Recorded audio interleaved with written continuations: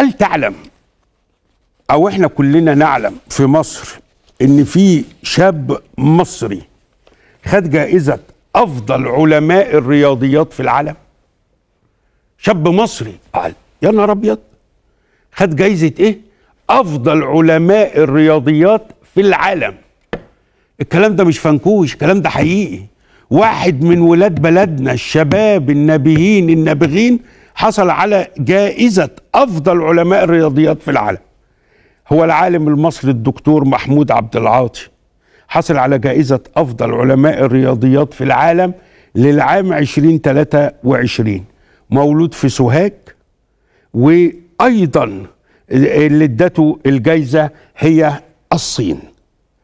الصين بتدي هذه الجائزة وفي شهر نوفمبر القادم هيتم الاحتفال في حفل كبير وبتأتي هذه الجائزة تخليدا للعالم الصيني الشهير شاو. معايا على التليفون وأنا ممتن ليه الدكتور العالم الحائز على جائزة أفضل علماء الرياضيات في العالم الدكتور محمود عبد العاطي. مساء الخير دكتور محمود. أحمد بيه ربنا يبارك فيك يا رب وشكرا على الكلام الحلو ده. أنت تستحق وتستحق المزيد. وشرف ليا إن أنا أتلقى هذا التليفون من حضرتك كعالم كبير تفوز بجائزة دولية مرموقة في مجال كبير وهو علم الرياضيات. ربنا يبارك فيك يا رب. احكي لي عن الجائزه إزاي حصلت عليها؟ إزاي تلقيت الخبر؟ آه أن تحصل على جائزة رفيعة على مستوى العالم. هل أنت اللي ترشحت رشحت نفسك ولا في أكاديميات وجامعات؟ وهل في آه آه أهمية للجائزة دي تنعكس عليك وعلى بلدنا هي الأول جائزة تشين شو شاو دي عشان تخليدا لذكرى العالم الكبير شاو العالم الصيني اللي هو قدم نظريات كثيره وتفسيرات في الرياضيات. الفكرة في الجائزه وأهميتها إنه بيتم الترشيح ليها من دول العالم المختلفة. يعني بعض العلماء بيرشحوا الناس اللي هم بتنطبق عليهم الشروط.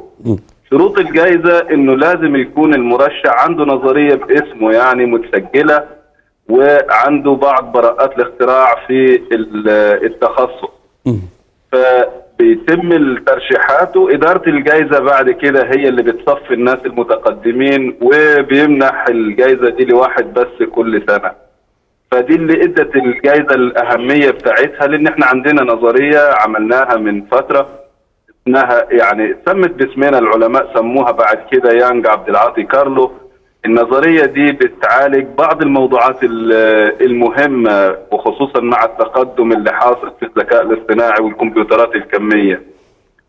والحمد لله يعني قد أكون أنا محظوظ السنة دي إن أنا ترشحت وإن أنا حصلت عليها و يعني مبسوط جدا لأنه إحنا بنكمل الصورة الحلوة بتاعت بلدنا يعني رفع علم مصر في أي محفل دولي ده بالنسبة لنا يعني قمة أمل أي واحد باحث إنه يقدر يوصل للمرحلة دي إنه يرفع اسم بلده في خصوصا في مكان زي ده يعني. الجائزة دي معنوية أم مادية أيضا؟ الجائزة دي ثلاث مكونات هي في شهادة في ميدالية ذهب وفيه قيمة مالية ليها يعني. طيب دكتور محمود عبعاطي حضرتك بتتولى منصب مدير مركز العلاقات الدولية بجامعة سوهاج وأستاذ المعلوماتية والأمن السبراني بأكاديمية ناصر العسكرية هل الجائزة دي هتضيف إليك شيء خارجي أو دولي مثلا؟ الجائزة طبعا هي ليها بالنسبة لي مهمة جدا وجاية في توقيت كويس جدا لأنه إحنا عندنا مجموعة من من براءات الاختراع اللي موجودة سجلناها في أمريكا عن ذاكرة الكمبيوتر الكمي. الكمبيوتر الكمي اللي هو الكمبيوتر الجديد اللي طالع. فده هنبدأ نعمل إن شاء الله بعض التطبيقات والحاجات المرتبطة بالموضوع ده في مصر بإذن الله. وده نقدر نخدم بلدنا بشكل كويس جدا من خلال النتورك اللي اتعمل والاسم اللي اتعمل وظهر وارتبط بالجائزة دي في المحفل الصيني. هل تفكر في السفر أو الهجرة ولا أنت مصري وعايز تقعد في مصر؟ لا هو أنا خدت فترة من حياتي بره مصر ورجعت يعني أنا كنت عايش في ألمانيا فترة طويلة وبعد كده عشت في الخليج شوية ورجعت أنا من مؤسسين مدينة زويل أيضا أنا رجعت مع دكتور أحمد زويل من الخارج لما أسسنا مدينة زويل في سنة 2013 فأنا كل أحلامي حاليا إن أنا أقعد في بلدي وعندي حلم عايش عليه وبنشتغل عليه ونتمنى يا رب يتحقق قريبا إن إحنا نحول ال- البحث العلمي والنشر العلمي لأحد مصادر الدخل القومي لبلدنا يعني. وإحنا قادرين على ذلك لأنه مصر فيها نماذج آه، كتيرة جدا ناس أحسن مني بكثير علماء في مصر. ونقدر نربط العلماء اللي موجودين بالداخل مع العلماء المصريين اللي موجودين في الخارج في كل مكان ونقدر نعمل آه، مصدر من مصادر الدخل القومي كتير جدا وبدون ما نتكلف حاجة في آه، في بلدنا. هو ده حلمي اللي أنا عايش عليه وبشتغل عليه.